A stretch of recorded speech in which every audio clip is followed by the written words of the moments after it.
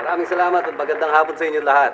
Ngayong araw na to, mapapanood na rin natin ang ating pinakihintay. Ang idol na mga bata hanggang mga lola. Talagang napakalupit ng bandan to. Ladies and gentlemen, the grooviest combo in today's music scene, the Bloomfields!